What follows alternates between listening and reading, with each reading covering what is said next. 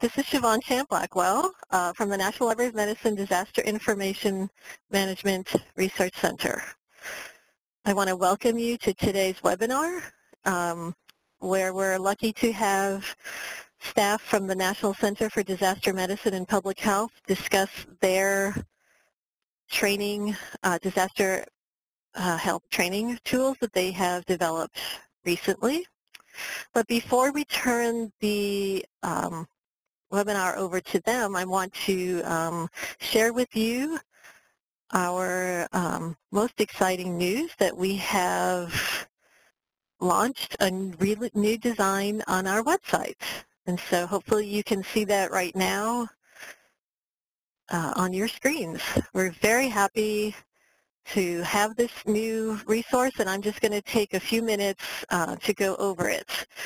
Um, I do want to let you know that if you have any questions um, at any time during the webinar, there's a chat box at the top of the page that you can click on. You can send a message to all participants and um, uh, Stacy Arnesen, our branch chief, is monitoring questions and she will make sure to um, let us know let me know if there's any questions or let our, um, our next presenters know if there's any questions. Okay, so uh, Stacy put the, the link to our website into the chat box. It's the same URL that we've always had, just a new look on that URL. So um, there's a few ways to navigate the page. If you take a look at the top, we have uh, links that, uh, when you hover over them, have some items that drop down. And a lot of these you will see as we scroll down the page. These are kind of the top resources that people come to our homepage to find. But it's not, this doesn't have everything on it, but it has kind of the top features. So, um, and we also have here this drop down to search, to do a site search. But if I scroll down the page, then you can see um, a lot of the things that get duplicated. Like here's the CBRNE hazmat tools. A lot of that drop-down menu is here. But as I said, we don't have everything. So for example, um, a lot of the things on this third layer are not going to show up in that drop-down menu. And then at the very bottom, we have um, the information about us, the archives to all of our pages, things like that. And we have links to our, our Twitter feed, um, our RSS feed, and ways to subscribe to our listserv and um, resources that that push out information to you about updates to our website. So I'm going to just do a quick demo on um, a couple of what you will, a couple of things that you'll see when you come to the website that are redesigned. We've tried to update and make a few things clearer and cleaner. So for example, here we do have a rotating um, carousel that uh, we focus on some things that maybe we've updated wiser or there's wildfires going on right now, so here's a great page to go and take a look at. I'm going to take a look at hurricanes. Hurricane season started June 1st, so here is our health information guide for um, hurricanes. And what we've what we've done this this um, is the format that we've used in um, our, all of our information guides is we continue to start with this overview of where resources from some of the primary agencies that deal with hurricanes and, and the health information around them.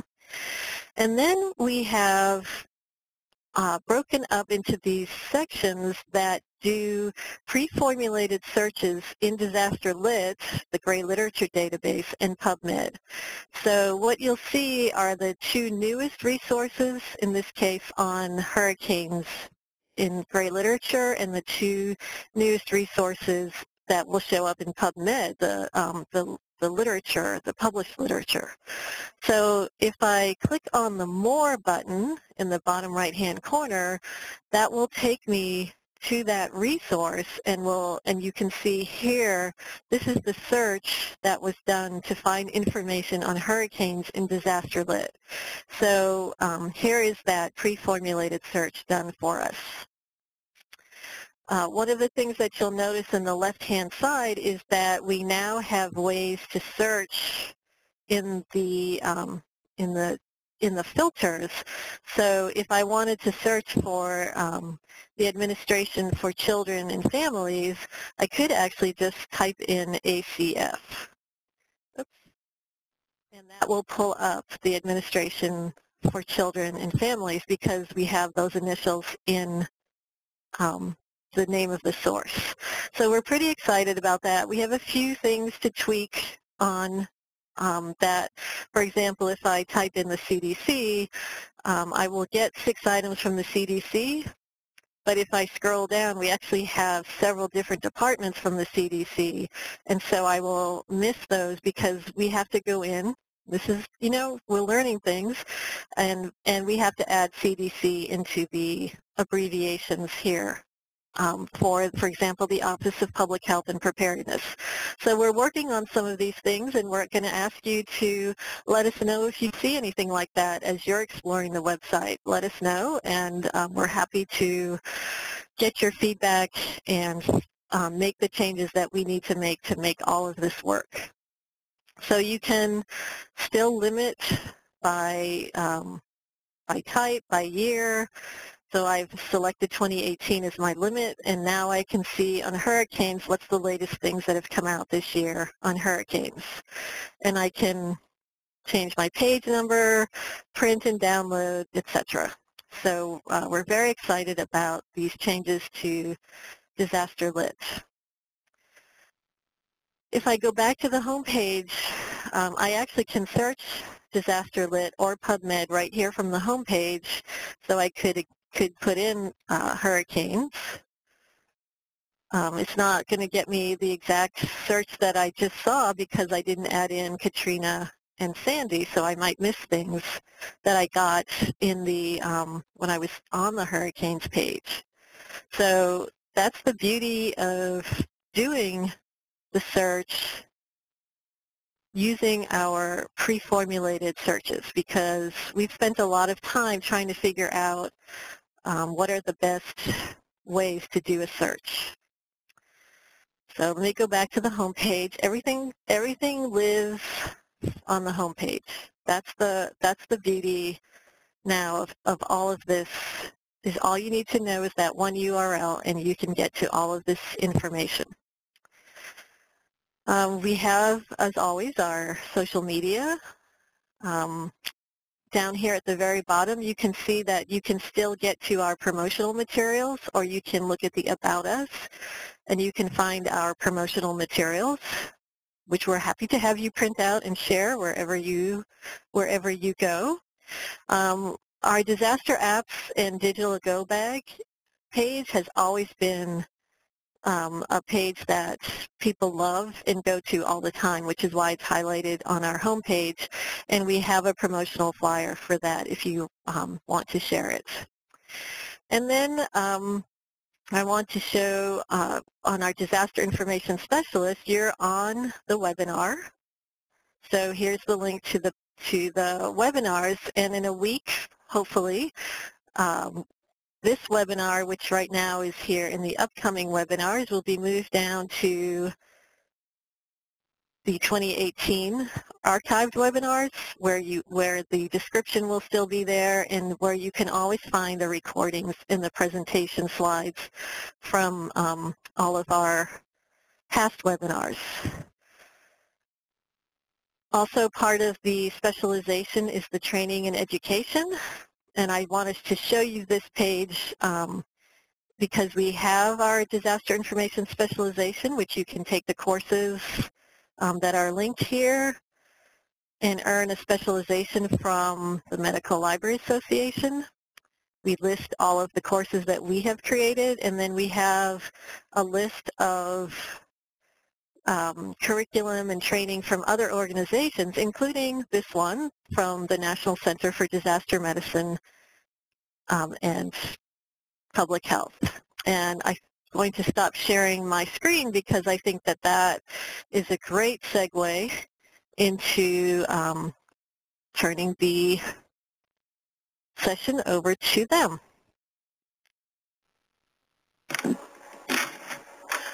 All right. Thank you so much, Siobhan. This is Kandra Strauss-Riggs. I'm the Education Director here at the National Center for Disaster Medicine and Public Health. Um, and I'm uh, going to start, and then uh, Victoria Klimczak, our project coordinator here, will take over for me in a few minutes. Um, thank you so much for having us. We have been longstanding partners of the National Library of Medicine Disaster Information Resource Center, and we're very pleased to be here today. So thank you for the invitation. So the National Center for Disaster Medicine and Public Health, for folks on the phone who do not know, um, is a center of the Uniformed Services University of the Health Sciences uh, in Bethesda, Maryland. Uh, the center was founded in 2008 under a Homeland Security Presidential Directive, which stated, among other things, that we were to be an academic center of excellence and would lead federal efforts to develop and propagate core curricula, training, and research. Uh, so the determination was made at that time when we were founded that the best way to achieve this was to house us at a university. So we're in this unique position of being a federal entity and an academic uh, center. So that gives us a great perspective over the field that's a little different than some other groups out there. Um, we're involved in a lot of different things in the field. Um, one highlight is that we're in the National Health Security Strategy, um, currently Strategic Objective 4, but as most of you know, um, there's a new Assistant Secretary for Preparedness and Response, Dr. Bob Kadlec, um, on board, and so the National security strategy um, is probably being looked at, and we will continue in that effort. So our mission is to improve our nation's disaster health readiness through education and science. And we work toward being the nation's academic center of excellence in both domestic and international disaster health. Um, throughout my presentation, I'll often talk about disaster health because um, using all of the words in this uh, space is a mouthful, and um, I really think of it as disaster health because one of the roles that we play is bridging uh, medicine and public health. Um, so there's really the field, the aspects of the field that are focused on delivering medical care in disasters, and then the parts of the field that are looking at population health um, and the impacts on populations of disasters. And we really look at both sides of that. Uh, so um, in October 2016, we got a new director, Dr. Thomas Kirsch, who came to us from Johns Hopkins University. We're very pleased that he's here, and we kind of reframed our mission a little bit and looked at things through these lenses of um, readiness, education and training, research and scholarship, collaboration and leadership. So everything we do is um, framed within this space. And um, most of what we do overlaps each of these, uh, and um, we really are at a strategic level looking at the landscape of disaster health, education, and science throughout the country and internationally. Um, so another part of our, um, when we were established, was that we're not only federal, but we're interagency. So our key um, interagency partners are the Department of Defense, the VA, HHS, um, both Assistant Secretary of Preparedness and Response and other um, partners within HHS like CDC and NIH, um, Homeland Security, and Department of Transportation. So we really look to those key partners for guidance, um, product ideas, uh, you know, sort of to get a bit of a pulse on where the Fed um, writ large is on disaster health education and training and what their needs are. So, um, and we've kind of reorganized over the last year or so to have education and research as main lines of effort out of here. Um, but we continue to grow our staff and we um, now have a fellows program. Our first two fellows are actually sitting here in the room with us, so that's exciting. Uh, and we also um, are bringing in some visiting scholars over the next year to work with us. So these are exciting new developments. So as I said, we're academic and federal. We also work with academic partners and professional organizations, non-governmental organizations, subject matter experts in the field. Um, one of our key uh, components of our work, we really view ourselves as conveners and kind of um, neutral brokers that can bring people together to discuss the key issues in the field and lend um, different perspectives and expertise because as we all know, it's a very diverse and broad field. Oh, here's our staff. Um, and, you know, this is always uh, growing as well, so probably more photos will be added in the near term. Um, and some recent specific accomplishments are, are um, we helped develop, along with our uh, Department of Transportation partners, the Model Uniform Core Criteria for Mass Casualty Triage. Um, instructional guidelines addendum. So that's a lot of words, and really uh, it's an educational tool to help EMS providers throughout the country train their workforce around the 24 um, tenets of the model uniform core criteria. So triage is often discussed in the field. Um, and for a long time, there was a lot of confusion and not a lot of evidence over which triage system was best. So um, Department of Transportation and EMS part leaders came together and did an evidence-based review and looked at um, what would be best and determined there was not one triage method that was best, but that there were these uh, core tenets that is, whatever method you use just has to meet those criteria. Um, so that was an exciting avenue for us, and we're pleased that it's out in the world now. Um, I'm going to let, Victoria's going to focus on Stop the Bleed in a little bit, so she can talk more about this, but um, as part of that effort, we have a Stop the Bleed Education Consortium of very uh, high-level experts in the field who are looking at the educational activities across the board because we're not the only ones in this space. Um, and again, trying to make high-level recommendations about what should be included in Stop the Bleed education. Um, this year, we've really been focusing on sounding the alarm, and we have this suite of projects that's um, focused on that. So looking at, you know, what's the current state in disaster um, health, and particularly on research and education, kind of where are we as a field, and where are the gaps and overlaps, and um, trying putting out some commentaries and papers on that issue. So, but I'm actually here to focus on our core curriculum, which uh, was just released in May, and something we've been working on for a long time. So the core curriculum for disaster medicine and public health is based upon the core competencies.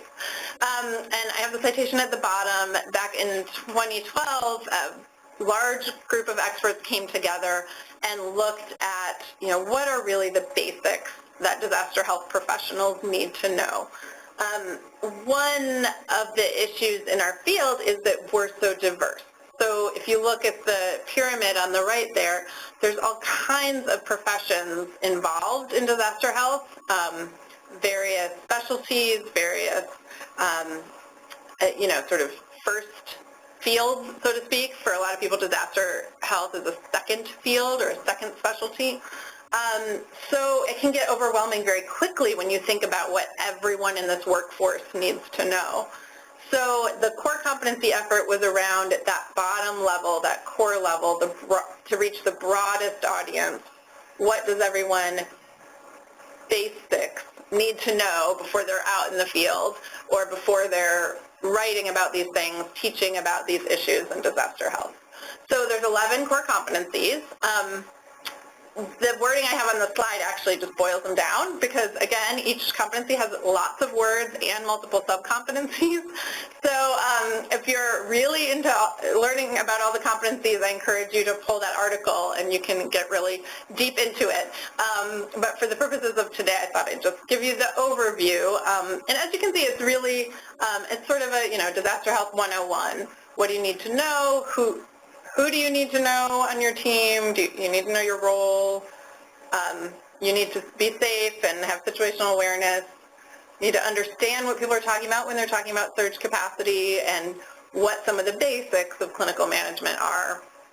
Um, public health, ethics and legal, of course, is a complicated space, but again, it's um, sort of the 101 version of that. And then um, recovery, considerations, which of course our understanding of recovery has come a long way in the past few years, but play on some of that research. Um, oh, it's a little hard to see, but this is a poster that um, Victoria uh, created and presented at the Preparedness Summit this past April. Um, and so again, to kind of show people that this is for everybody and it's not complicated or difficult. Um, it's a, a modular, so on the right there, it kind of shows the screenshots for each module. So it's a modular curriculum. You don't have to take all 11 by any means. Uh, you can uh, pick and choose and take what is most relevant for you. Um, and I'm just going to play our little introductory video for you so you can get a taste of it. Imagine that a pandemic flu has struck the United States. Hospitals and public health clinics are being inundated with patients suffering from extreme respiratory distress, along with a steady stream of self-presenting individuals who are not yet ill but who fear they may have been exposed to this contagion. While public health agencies and advocates have long encouraged people to develop personal and family preparedness plans, few did so, and confusion abounds. Roles and community response plans are not always clear, and health professionals are trying to help, but local agencies are overwhelmed. This story represents some of the challenges you may have experienced or heard about regarding disasters and public health emergencies. I'm here to talk to you about a curriculum we developed to help address those challenges in order to better prepare health professionals to support response and recovery efforts.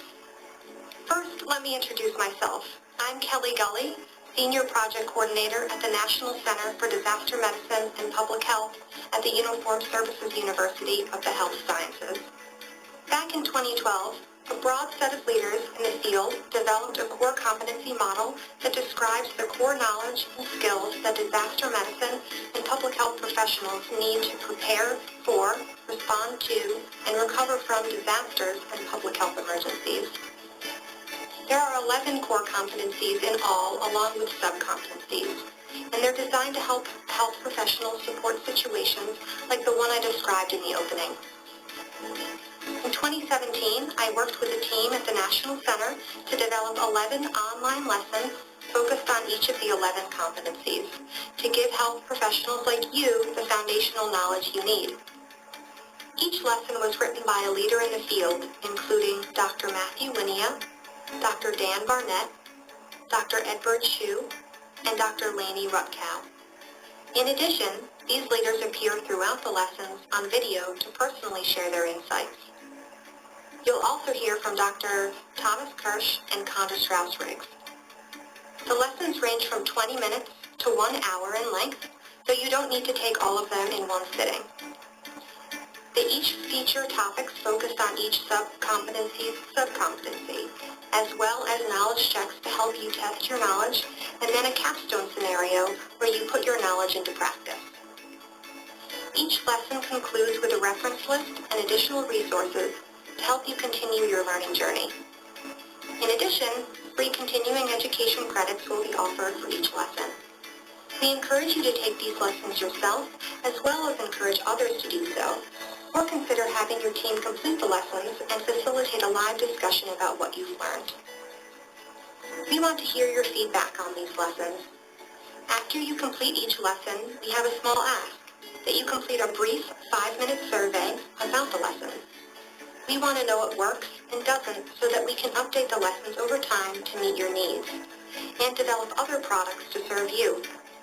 And we encourage you to continue the conversation about what you've learned on the National Center social media and by reaching out directly to the National Center via our website.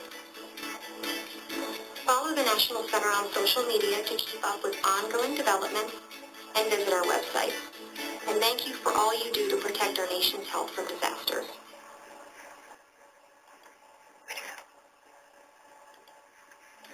Imagine that a pandemic flu has struck the United States. Hospitals and public health clinics are being inundated with patients suffering from extreme respiratory distress, along with a steady stream of self-presenting individuals. Oh, okay. okay. Okay. Thank you. Um, all right. And Thanks, just so you Victoria. know- Just so you know, you stopped sharing. You stopped sharing your screen, so you might want to. You Share your see our, screen again. our, okay. our blender. we heard it. We couldn't see it. okay. So, Sorry about that. okay. Well, that's okay. I hope um, that you enjoyed our little intro video. It kind of gives you a flavor for what um, you're able to do in the curriculum, and then this is the direct web page um, that hopefully uh, we designed to be as user-friendly as possible to be able to just um, click around easily, and there's the core competency article is linked there, um, and then each uh, module is here, and it tells you how long it is, which competency it's meeting, um, and you can, like I said, uh, pick and choose to a certain degree. So um, we really hope that this is useful for you uh, in your setting or for um, stakeholders of your various groups and people in your community. Um, so with that, I will turn it over to Victoria Klimczak, who is going to talk to you about an additional product of the center. Hopefully I won't wonder this. no, no. Great. Okay. Hopefully everybody is seeing our screen still. Um, I'm Victoria Klimczak. Um, I'm project coordinator here at the center. I'd like to thank again uh, NLM staff for inviting us to do this. We really appreciate your help in getting our resources and tools out there. Um, well, so a little history about Stop the Bleed. Um, Stop the Bleed pretty much was derived from a, a civ middle concept. So meaning as the military, there was a, they saw a decrease in deaths um, since World War II to the recent times, and that was due to tourniquet application. Um, so they took that concept and they went ahead and they said, well, why don't we do something about this to see if we can improve the lay personnel? So they developed, as Kandra said, that consortium, and um, they had a bunch of meetings, et cetera, et cetera. Um, I'm not going to go too much into that. Um, if you go to our website, you can actually see, it opens, maybe, maybe not. Chrome. Oh, that's right, Chrome. For some reason, Internet Explorer, they don't Oh, like- there. Yeah. the link, but also Okay. Can you still see the screen? I hope you can. Um, research. Okay. For some reason, our thing doesn't support Internet Explorer very well. So a little history about Stop the Bleed is on this page on our website as well. It goes into more depth as well. Under the education tab, um, if you scroll down and bring it to webinars, Dr. Goolsby actually conducted um, a webinar on the history of Stop the So this is actually a really good webinar, um, not being, you know, biased or anything, but um, I recommend that, you know, people watch that to get a better understanding of the whole Stop the Bleed White House initiative and how it came about. So with that said,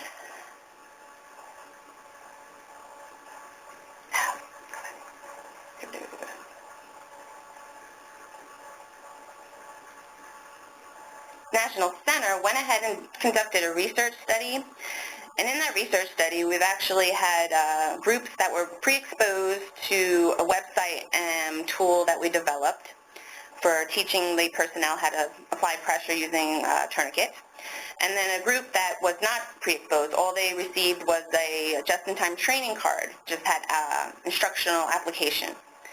Um, as a result of that, we found that the pre-exposure group that applied the tourniquet uh, 75% successfully more, so um, compared as to 50% to the participants that just had the card alone.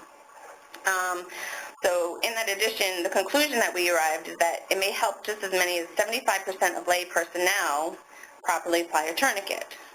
So some of the tools, sorry about this again, where did it go? And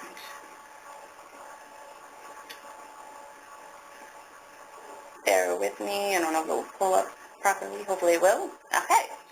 So, Stop the Bleed. This is our website that we created. You can actually access it through our site. Um, on the home page, there's a little frozen picture, I think of this. Click on that and it'll take you straight to our Stop the Bleed website. Um, so pretty much, there's, you know, yes or no, are you an emergency? We're going to head and go to no, we're not, thank God. Um, they're pretty much similar, except the yes will take you straight to application of a tourniquet, whether you need to or not to determine, you know, if you need to. So for now, I'm going to show you a little teaser, and I'll show you our video we created. I swear it does work. It's just not liking me today. Right, If you want to try showing that, if you want to try showing that on um, Firefox, uh, I know uh, for me Firefox doesn't work well, but it might be better for you.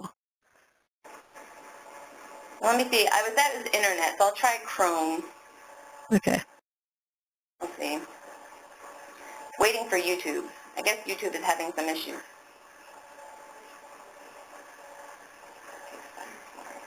Okay, our computer is having lots of issues. Okay.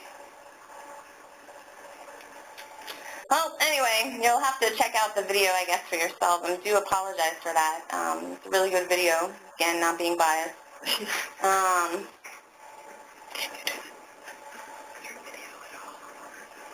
so the video, walk through the video.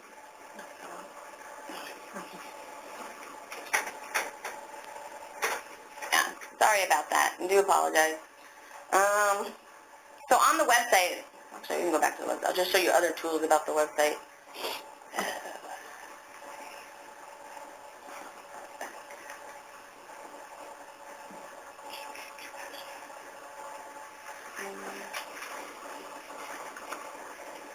I never did say I was a technical expert, so I do apologize again for this.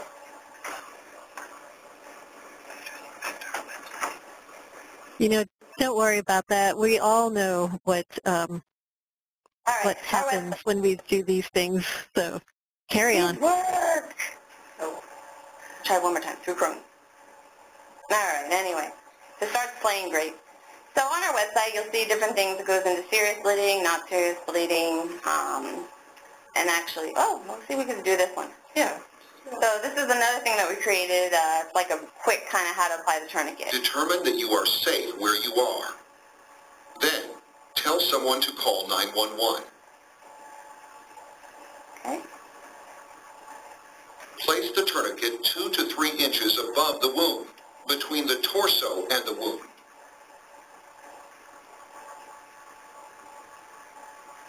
Pull the free end of the Velcro strap and thread it through the buckle. Securely fasten it back onto itself. Next, twist the rod. Keep twisting until bleeding stops. It is normal for this to cause some pain. started.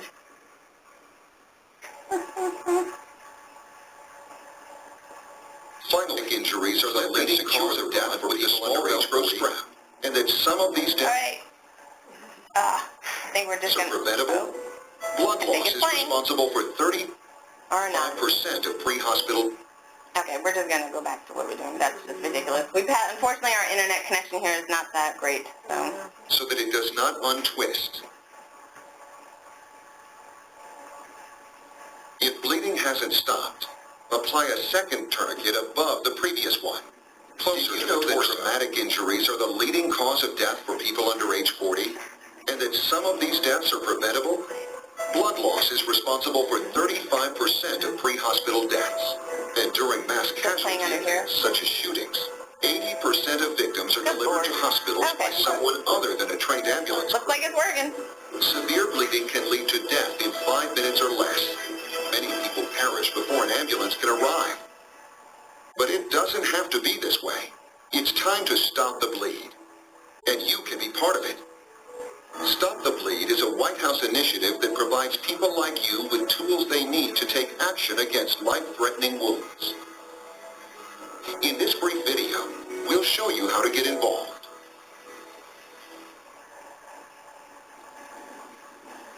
Everything was so normal. We were just going about our day, minding our business. But then there was this noise, like a loud pop. People were running and screaming, and then I saw people just lying on the ground, bleeding. What if this happened to you? Would you know what to do? Here are some initial pointers. Act quickly. What you do in the first few minutes is critical. Evaluate your safety. Is it safe for you to remain where you are? If not, evacuate the area. Tell someone to call 911. Apply pressure. Pressure is what stops bleeding. Let's explore the concept of pressure more. There are two basic kinds of pressure, direct pressure and pressure applied via a tourniquet. There are two main ways to tell whether bleeding is serious enough to require a tourniquet. The volume of blood and the flow. Volume refers to the amount of blood present. Think about a soda can. Cut that amount in half. If that amount of blood is present, then it's serious life-threatening bleeding. Another warning sign is flow. If the blood is squirting, pooling on the surface, or if it's flowing continuously, then it's serious life-threatening bleeding. In a real-life scenario, you'd evaluate the volume and flow of blood to help you make decisions. This person's arm is injured, but it looks like neither the volume nor the flow of blood indicates we need a tourniquet. We need direct pressure instead. You, call 911. This person's injuries are more severe. There's more blood than half a soda can, and it's flowing really fast. That means I need to use a tourniquet to apply pressure. So you've decided you need a tourniquet. What next? You need to find or make one. Two basic types of tourniquets are out there, commercial and makeshift. Commercial tourniquets are the most effective. If you're in a public facility, you may be able to find one in a bleeding control kit often found near an AED display. If that's not an option, apply strong pressure with your hands or use available materials like a t-shirt or towel. Tourniquets are used for severe bleeding on arms and legs, not other parts of the body. The key idea is only the limbs. Apply direct pressure to stop bleeding on other parts of the body. In this video, we'll focus on pressure applied via a commercial tourniquet. Place the tourniquet 2 to 3 inches above the wound. Be careful to place it above the injury, not directly on top of it. Then, simply pull, twist, and clip. Pull the free end of the Velcro strap, thread it through the buckle, and securely fasten it back onto itself. Twist the rod until the bleeding stops, or until you can't twist anymore. Note that this step will be painful for the injured person. Be persistent be sure that the bleeding stops. Clip the rod with the small Velcro strap, securing it so that it doesn't untwist. If bleeding continues and you've tightened the tourniquet as much as you can, you can apply a second tourniquet above the first, closer to the torso. Although applying the tourniquet is simple, watch out for these common mistakes. Mistake number one, not knowing when to apply a tourniquet. Tourniquets aren't appropriate for all injuries. Don't use it for a minor injury or on the trunk of the body. But for life-threatening bleeding on the arms and legs, don't be afraid to use a tourniquet. Mistake number two, not tightening the tourniquet enough to stop bleeding. Also, remember to keep twisting until bleeding stops. If it doesn't stop, add a second tourniquet closer to the torso, above the first tourniquet. Mistake number three, placing the tourniquet directly on top of the wound. The tourniquet should go just above the wound, on the side closest to the torso. Mistake number four, loosening the tourniquet. Leave the tourniquet on until medical professionals arrive. Even if the victim complains of pain, the victim could bleed to death quickly if the tourniquet is removed. Hopefully you'll never have to apply a tourniquet, but knowing how can save a life. Thanks for helping stop the bleed. This message was brought to you by the National Center for Disaster Medicine and Public Health at the Uniformed Services University of the Health Sciences. Okay. All right. So That was the video that we created and used in our study. Um, there's also a lot of facts and resources on here. There's a little quiz that you can do, um, and it gives you the answers if you get them right and wrong. Um, glossary definitions, as well as some really good resources that was used um, to help us create the content in our educational tools um, and their links. And another thing, real quick, another tool that we used in our study, get to it, was a PDF, so we have it in PDF version here. We had a just-in-time training card, and it was this card exactly that we gave the um, participants. So feel free um, to hang this up, share it, pass it along. Um, okay, as well as just the audio instructions. Um, that's another tool that we've created. Because as we know, everybody doesn't learn the same. Some are visual, some are audio, some are hands-on. So we tried to cover all the areas. Um, all right. And then lastly, in addition, we created an app. Um, here's a little teaser of the app. Goes into pretty much the same stuff that the, the website does, but just in a different functionality.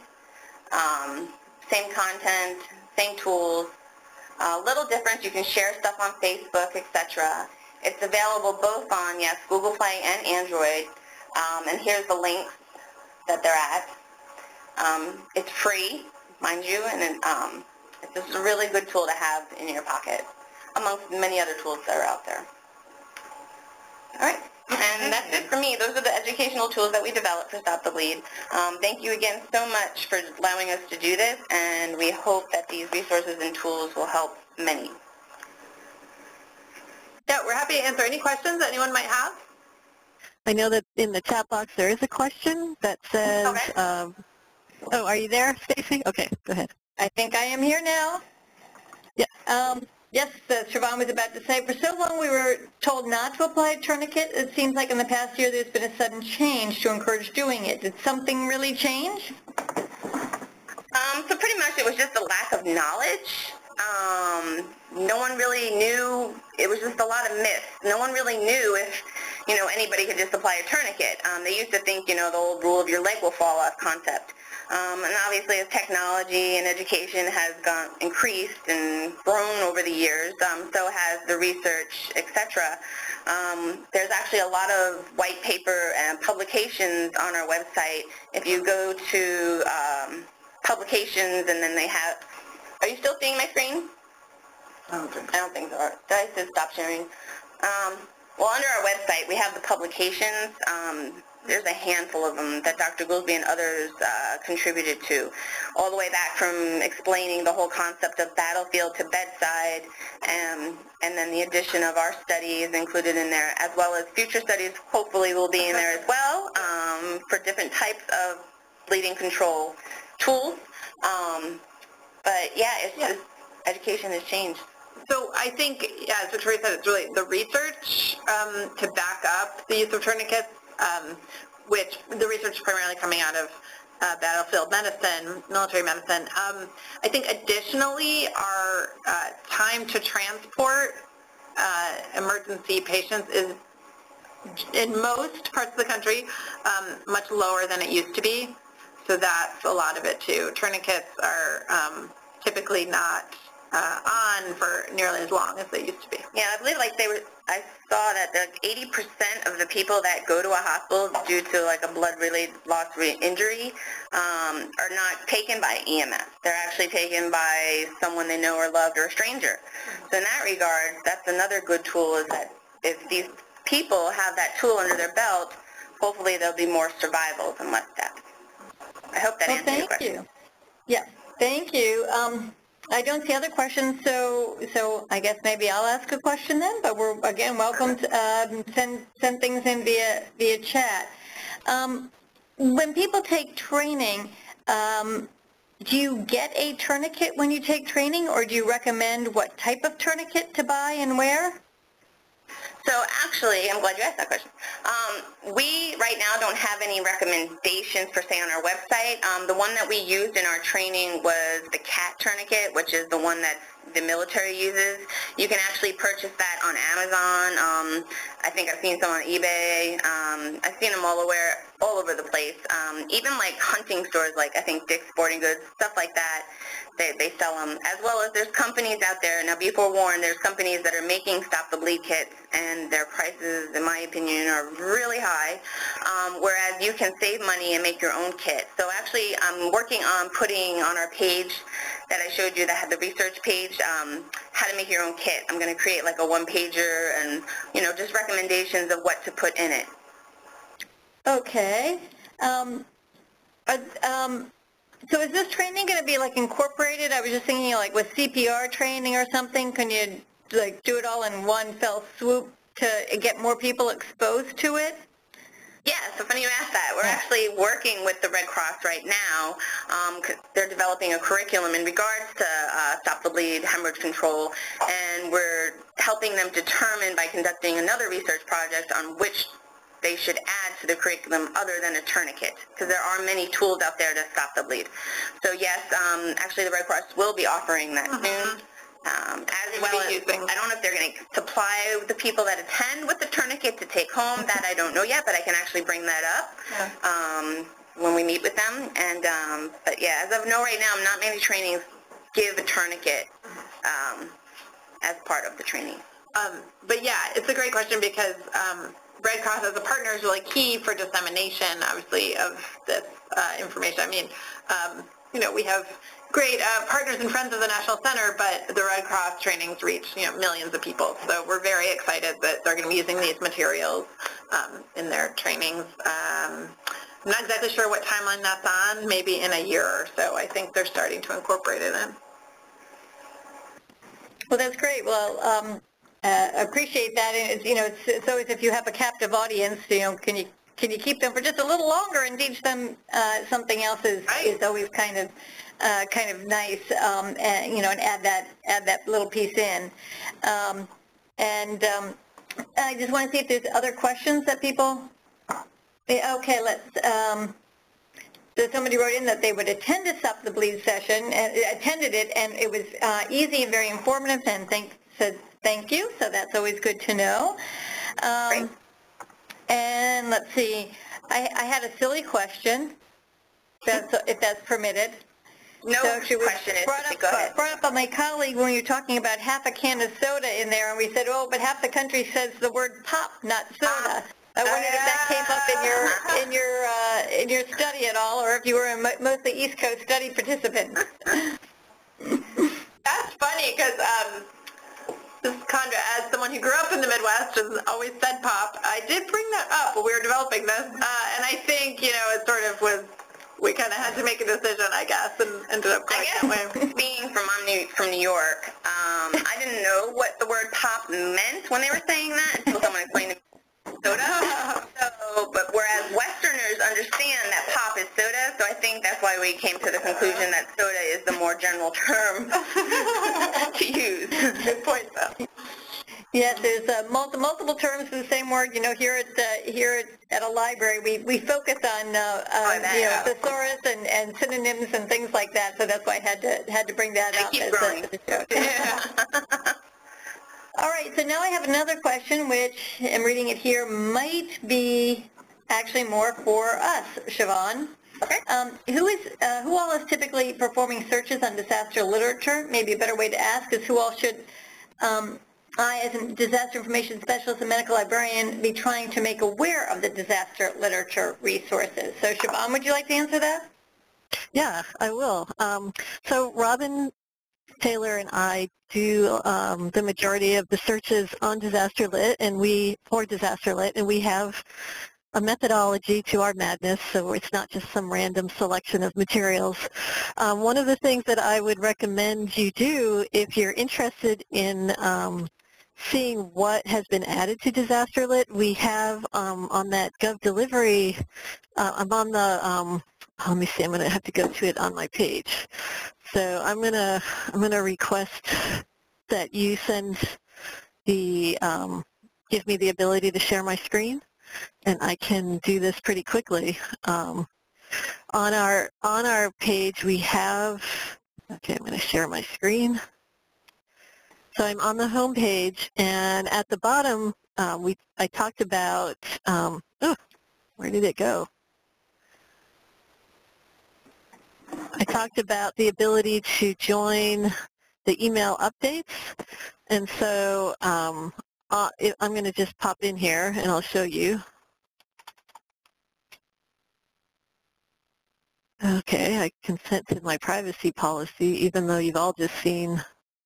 I don't know why it's doing that. Okay, here we go. So we have actually, if you go to that page and you subscribe, you can see we send out emails daily and weekly um, on what we've added to the DisasterLit database. And um, we also tweet about it um, every day on, um, on, our Twitter account. Every day has at the end of the day what the um, what the latest. I want to because I want to show you what it looks like. So here we go. And if there's any other questions while I'm finding this, you can sure go ahead and ask them. But um, you can see every day we have review the latest items added to DisasterLit. And so this is what the email will look like. So yesterday there was just one thing added. Um, it will take you right to DisasterLit. So you'll get an email that shows you this. Um, a lot of times we have five to ten items added. So um, I hope that that answers your question. I, I, think, Siobhan, also the question was looking at who are the people that would be um, uh, using this, and if you have your disaster information specialist, who should you be uh. marketing your skills to to make sure they they know about it? Um, oh, that's a oh great question. Yes. So, so what I tell people is to first look within their organization. Um, so, if you're a public library, what what does your town have for um, emergency operations center? Um, there's probably somebody in your library that goes to the monthly meetings already. If you're in a hospital, your hospital must have emergency operations planners within the hospital. So you look to your organization and find out um, runs the Emergency Operations Center. And then um, you can start to work with those people to say, uh, I can, you know, what kinds of information do you want? Do you want me to send you a daily update? I, I do know a lot of people who who go who get this email and they'll go through it, and they they have made connections with people in their organization, and they'll send them um, specific information that they see that's been added to DisasterLit. I, I think it's um, it's something that we try to say here at DIMRC that we that's our job is to find the latest information for you. And then you're the local person who knows what your community needs. So take the resources and share them. And um, it's a, it's very much a value that you are adding to your organization. When you can do things like that you people are um, always in the in the emergency operations centers, the public health departments. They're always very thankful to get this kind of information sent to them by someone who knows what they need. Right, I'm going to stop sharing. Okay, thanks, Siobhan. Um, are there other questions? I don't see any right now, except for now we're up to four synonyms. We have soda, pop, soft drinks, and fizzy drinks from England. Um, are there other questions that might be coming in? I'm, I'm typing in my um, email address into the chat box. Um, we've changed the way that we give out CE, or that MLA has changed the way that they distribute CEs. So if you want a CE for this, you can earn one hour CE. Just email me and I will tell you how to do it. Right now you have to log into the MLA Learning Management System and we'll give you a code um, that lets you um, uh, get your MLA CE certificate for attending this class. We're going to be updating our website with this information, but right now it's not up there. All right. So, um, any... yeah, I, I, think there's not, Stacy. I think uh, we should probably okay. um, say thank you so much to our presenters, Victoria and Kandra, and to the National Center for Disaster Medicine and Public Health for being on our call and sharing these really amazing resources with us. And um, We'll and we uh, need, uh, keep you and we need to, sign up for a Stop the Bleed for um, for our staff here, right, Siobhan? Oh, sure. That's right. Yeah, we actually, do. yeah. Yes. I'd be more than happy to come there and do it. Yeah. That, that would Great. be that'd be terrific. Great.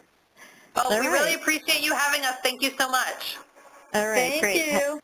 have a good hey, day. Bye-bye. Bye. Bye.